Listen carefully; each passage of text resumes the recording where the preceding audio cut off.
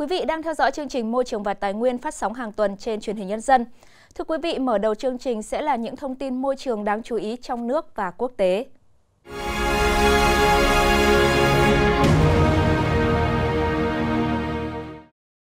Trước thực trạng nhiều người tự ý khai thác đá trẻ tại khu vực thị xã Đông Hòa, tỉnh Phú Yên, mới đây, Ủy ban nhân dân tỉnh Phú Yên đã giao Ủy ban nhân dân thị xã Đông Hòa tăng cường quản lý, bảo vệ khoáng sản chưa khai thác trên địa bàn, nhất là các điểm mỏ đá trẻ, các sở ngành liên quan cập nhật các điểm mỏ đá trẻ và bảo đảm phân bố đồng đều các điểm mỏ cát, đất đá trên phạm vi toàn tỉnh. Báo cáo Ủy ban nhân dân tỉnh trong tháng 1 năm 2023. Trước đó, qua kiểm tra truy quét, bước đầu các ngành chức năng thị xã Đông Hòa xác định được chủ nhân của ba điểm khai thác đất đá trái phép tại núi Hốc Trùm, Suối Tờ ở thôn Bàn Nham Nam, phường Hòa Xuân Tây và khu vực ven núi Gò Vông, Cây Trâm, Hốc Thuần ở thôn Phú Khê 1, xã Hòa Xuân Đông. Qua đó tạm giữ 8 xe cơ giới chuyên dụng, một xe tải ben, một máy hơi bắn đá và khoảng 50.000 viên đá trẻ thành phẩm cùng một số công cụ khác.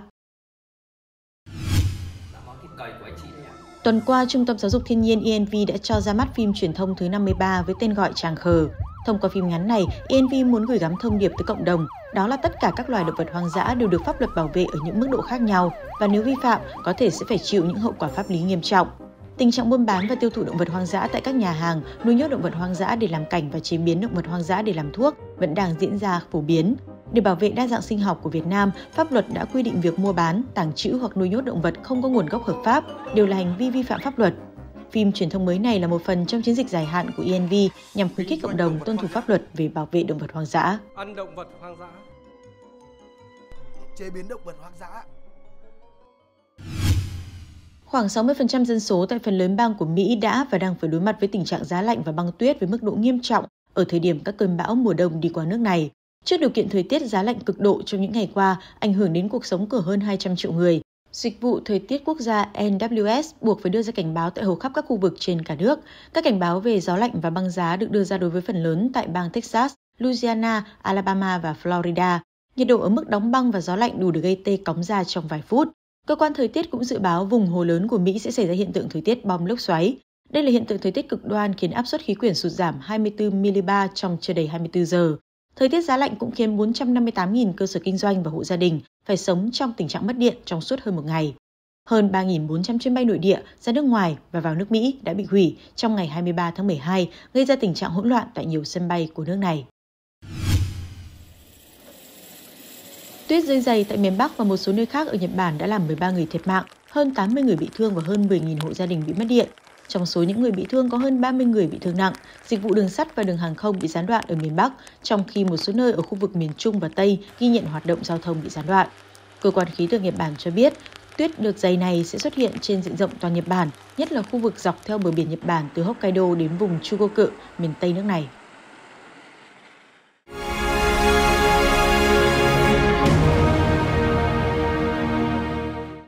Quý vị, các dịch vụ hệ sinh thái là rất nhiều những lợi ích khác nhau đối với con người được môi trường thiên nhiên ban tặng. Điều đó đồng nghĩa với việc quốc gia nào có đa dạng sinh học cao thì sẽ được hưởng lợi rất nhiều từ dịch vụ hệ sinh thái tự nhiên.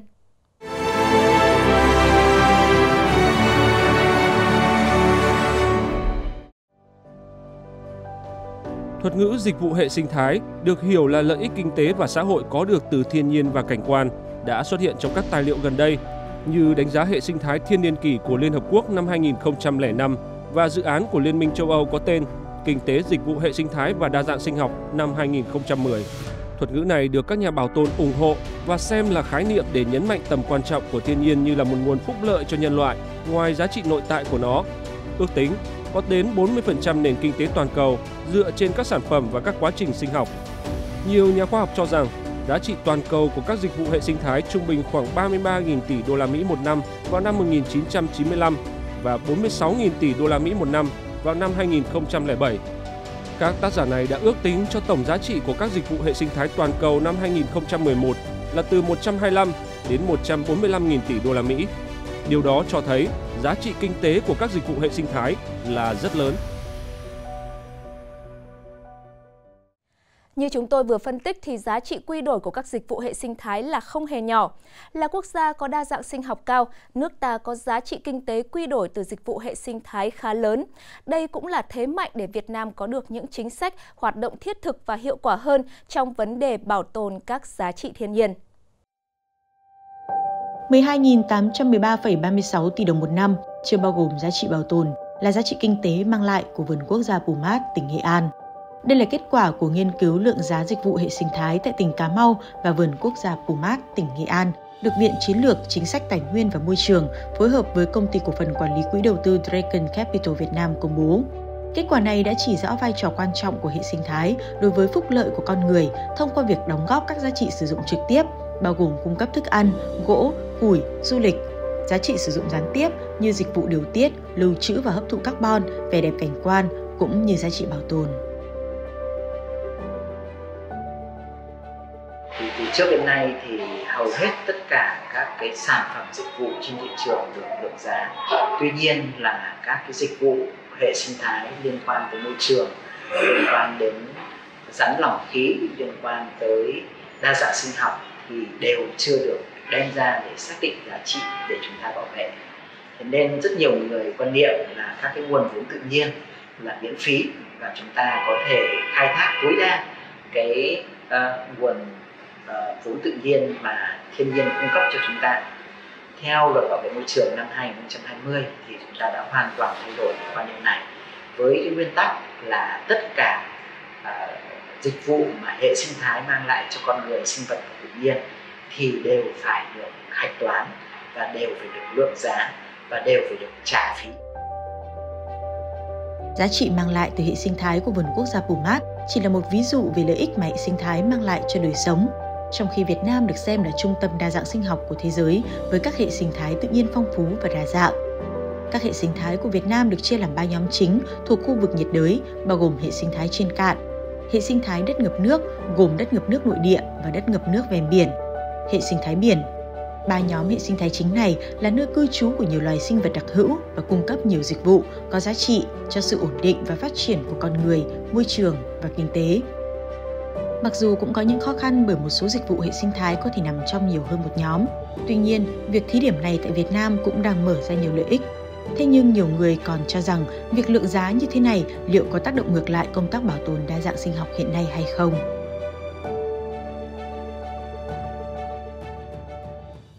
yêu cầu về chi trả của sinh thái yêu cầu về lượng giá dịch vụ sinh thái và yêu cầu về cái việc cung cấp nguồn lực cho các cái đơn vị bảo vệ dịch vụ sinh thái là một trong những cái nhiệm vụ mà luật bảo vệ môi trường năm 2020 đã đặt ra. Và nếu như chúng ta lượng giá được thành công để chi trả dịch vụ sinh thái thì chúng ta sẽ có thể áp giá cho các cái đơn vị sử dụng cái dịch vụ sinh ờ, hệ sinh thái để cung cấp dịch vụ cho hoạt động sản xuất kinh doanh, hoạt động tạo ra thu nhập, cũng như là cái hoạt động sử dụng cái dịch vụ sinh thái để cung cấp các cái dịch vụ hỗ trợ cho con người, sinh vật. Dựa vào nguyên tắc ai phát thải, gây ô nhiễm hay suy giảm đa dạng sinh học phải trả phí, thì việc áp dụng lượng giá dịch vụ hệ sinh thái được kỳ vọng sẽ nâng cao thu nhập, tạo sự ổn định cho những người trực tiếp thực hiện công tác bảo tồn, gìn giữ đa dạng sinh học. Tuy nhiên lượng giá như thế nào để phù hợp với nguyên tắc này lại là một bài toán khó cho các cơ quan quản lý các lĩnh vực tài chính, môi trường hay nông nghiệp. Và theo cái hệ thống thống kê của Liên Hợp Quốc thì chúng ta sẽ phải đáp ứng được ba yêu cầu. Đó là xác định được cái số lượng và chất lượng của vốn tự nhiên, lượng giá được cái giá trị của vốn tự nhiên và xác định được vị trí của vốn tự nhiên. Và thông qua đó thì chúng ta mới thực hiện được cái công tác liên quan đến bảo vệ bảo tồn, là bảo vệ cái vốn tự nhiên đó ở đâu và chi phí để bảo vệ cái vốn tự nhiên đó là bao nhiêu. Và cái số lượng và chất lượng vốn tự nhiên còn lại của chúng ta là bao nhiêu thì chúng ta mới có thể thực hiện được cái công tác phân tích chi phí và lợi ích để hình thành được cái giá của dịch vụ sinh thái. Từ những cách phân tích trên, ở cấp quốc gia, đánh giá hệ sinh thái cung cấp thông tin hỗ trợ các quá trình ra quyết định để đạt được các mục tiêu phát triển quốc gia và các kế hoạch chiến lược quốc gia về đa dạng sinh học, đáp ứng các nhu cầu thông tin cho các nhà hoạch định chính sách của các ngành khác nhau, tăng cường năng lực thông qua mối liên kết khoa học chính sách, và thúc đẩy việc lồng ghép đa dạng sinh học cũng như dịch vụ hệ sinh thái vào các chính sách, quy hoạch và kế hoạch phát triển. Mục đích là để cung cấp cho các nhà hoạch định chính sách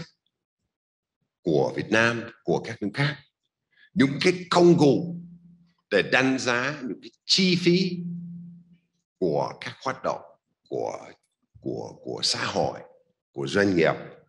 của loại người những cái lợi ích của những cái hoạt động đó, những cái hành động đó, để xác nhận những cái phương pháp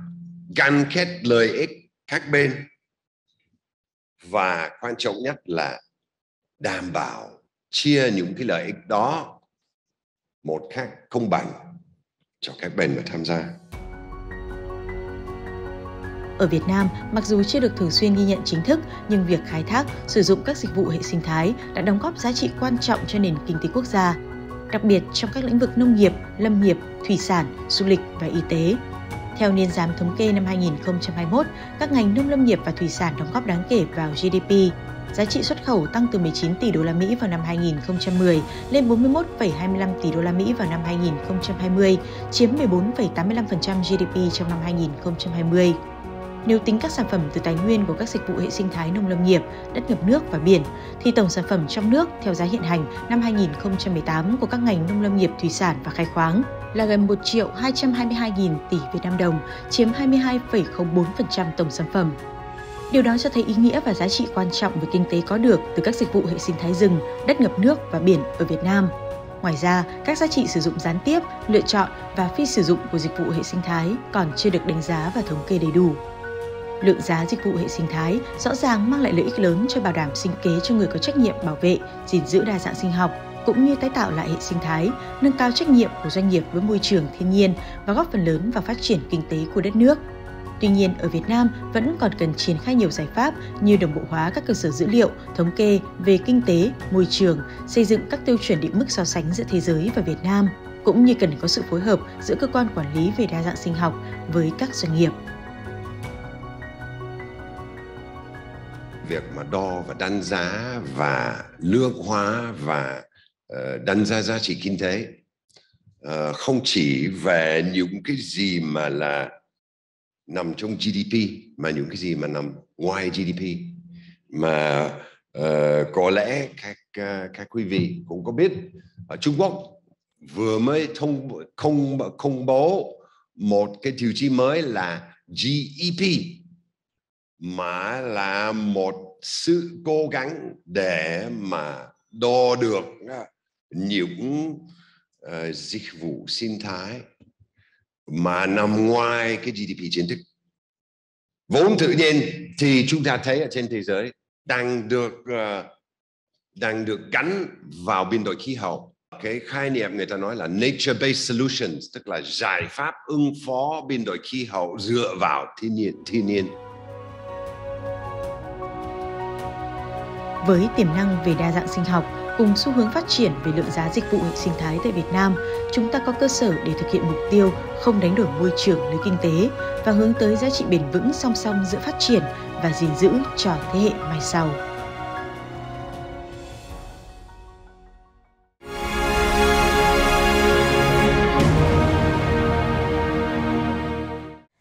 Có sự đa dạng sinh học cao đến đâu, nhưng nếu chúng ta không giữ gìn và có những hoạt động bảo tồn kịp thời, điều tiết việc khai thác tài nguyên thiên nhiên một cách hợp lý, thì những giá trị hệ sinh thái sẽ bị suy giảm ngày một nhanh chóng.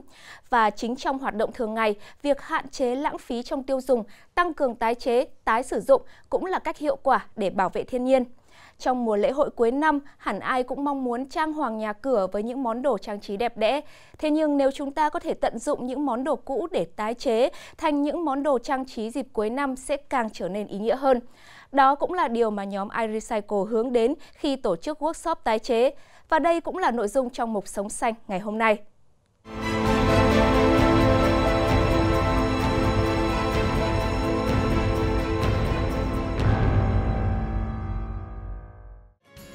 Workshop thu hút sự tham gia của các bạn trẻ từ học sinh tiểu học đến sinh viên đại học. Buổi sinh hoạt được chia làm hai phần. Ở phần lý thuyết, Aerocycle phổ biến kiến thức về sản xuất giấy và tác động của sản xuất giấy tới môi trường. Sau đó là thực hành làm các cây thông Noel tái chế từ giấy đã qua sử dụng như tờ rơi quảng cáo, lịch cũ. Tuy được tổ chức như một lớp học về bảo vệ môi trường, nhưng không vì thế mà workshop thiếu đi sự sôi nổi. Mọi người cùng nhau tranh luận phát biểu ý kiến, đặt câu hỏi về ô nhiễm môi trường và khi thực hành sẽ tích cực tương tác, giúp đỡ nhau hoàn thành các sản phẩm. Hôm nay em thấy là rất vui được ờ, làm những hoạt động này và em thấy làm cây thông Noel là rất ý nghĩa vì là các em đang dùng những cái uh, quyển lịch tờ giấy lịch mà được bỏ rơi từ các năm trước thì em thấy là có rất là ý nghĩa là bảo vệ môi trường và uh, recycle. Em thấy là làm ờ, cái cây thông Noel bằng giấy thì nó cũng ờ, rất là thiết thực đối với cái dịp Noel này. Với cả mình còn có thể tái chế giấy để làm ra những cái sản phẩm ờ, handmade nó rất là đẹp. Với cả mình còn có thể tiết kiệm giấy, tái chế giấy nó sẽ giúp bảo vệ môi trường ạ. Em nghĩ là giới trẻ bọn em đóng một cái vai trò rất là quan trọng trong cái việc là bảo vệ môi trường bằng cái hình thức tái chế những sản phẩm như thế này. Tại vì là à, bọn em là cái cầu nối giữa cái thế hệ người trẻ như những cái bạn nhỏ hơn bọn em với những cái những cái người lớn thì bọn em sẽ uh, tìm hiểu đến những cách uh, thú vị những cái cách độc đáo trong thời điểm hiện tại để có thể lan tỏa nó đến uh, hai cái thế hệ trên. Qua hoạt động này, iRecycle muốn nâng cao nhận thức của cộng đồng, đặc biệt là các bạn học sinh sinh viên về xu hướng sống xanh và bền vững, không những có ý nghĩa với mỗi người mà còn đem lại giá trị cho môi trường và xã hội. Mình thấy rất là hay À, cứ mỗi dịp mà có các sự kiện ờ, thì mình nghĩ rằng là ví dụ như cây thông Noel thì các bạn đã được học cách làm cây thông Noel bằng giấy thay vì là các bạn ý đi mua những cây thông Noel đã có sẵn trên thị trường bằng nhựa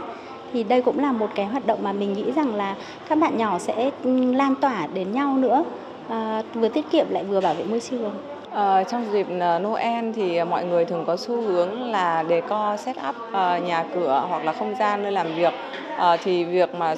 sử dụng hướng dẫn mọi người sử dụng giấy những cái tờ giấy mà bỏ đi uh, để làm một cây thông Noel uh, trang trí thêm cho góc học tập hay là nhà cửa của mình thì nó sẽ góp phần giảm thiểu cái lượng rác thải mà thải ra ngoài môi trường. Đồng thời thì nó sẽ giúp cho các bạn đấy tiết kiệm giấy và tái chế tái sử dụng giấy bên cạnh đó Dự án có nhiều chương trình ý nghĩa như là làm thiệp từ giấy, bìa tái chế để gửi tặng cho các em nhỏ đang điều trị tại Bệnh viện ca Trung ương. Để nâng cao nhận thức cộng đồng về bảo vệ môi trường, giáo dục thế hệ trẻ là một trong những yếu tố cốt lõi tạo nên sự thành công. Với cách tiếp cận gần gũi, kết hợp với giáo dục, những chương trình như trên vừa giúp nâng cao ý thức trách nhiệm với môi trường, vừa tạo ra những niềm vui cho các thành viên tham dự.